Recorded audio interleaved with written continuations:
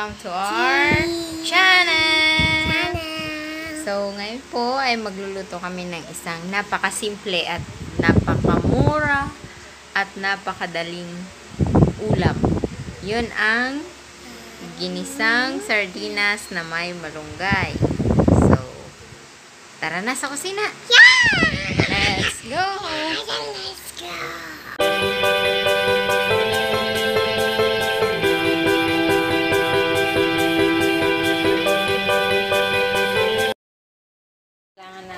Yung sardinas, sibuyas, bawang, asin, and malunggay. So, let's start cooking! Kawali. Yan na lang gagamitin namin kasi konti lang Mag magluto mo si Papa Yung saglit. isa. Lagyan ng mantika. Yes. Wag doon. Mm, okay.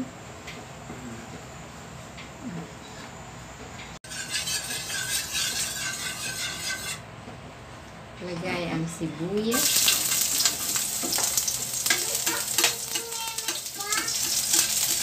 Yeah.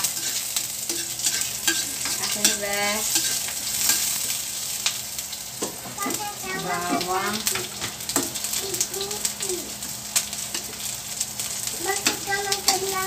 Okay, that's why you hide. Halloween. Lagay ang sardinas.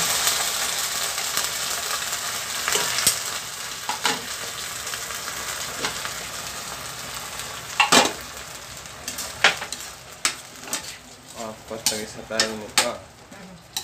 Tapos ako, kukuhanan ko si mama ng pinumin niya. Nilagang lemongrass or tanglad.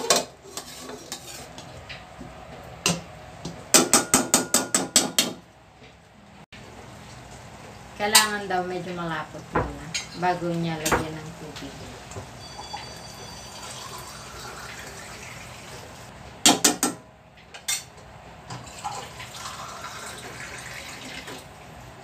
Yung palanguyin mo.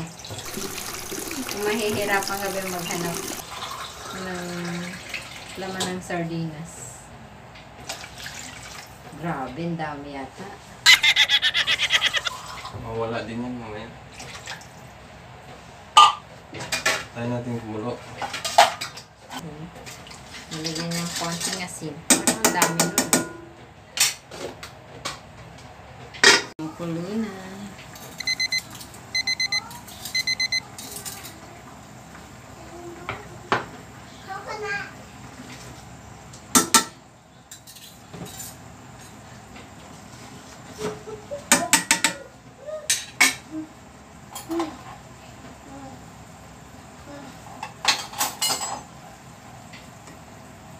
Tikman.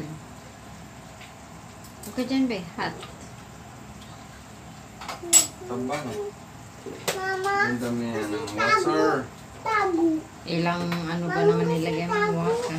O sige, tago. Baka matilang stick. Sasa mo. Ganyan natin. Ang malunggay. Moringa, moringa.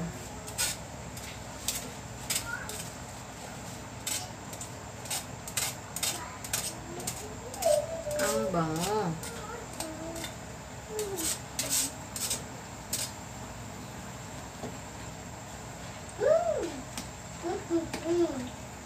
Mama, natago. You're hiding na. Wow, sarap naman. Shooting, shooting, shooting, shooting, shooting. Hindi. Five minutes. Pwede na siya. Kasi namin maluluto na. Two minutes. Two minutes pa lang.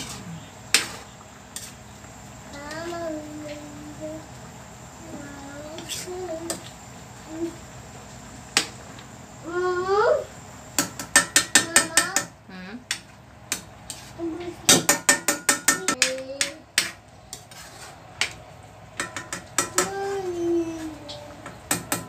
Ayan na ang aming ulam. Tipid na lutong ulam. Ito si Queen Queen, ang batang mabait. Ang aming vlogger.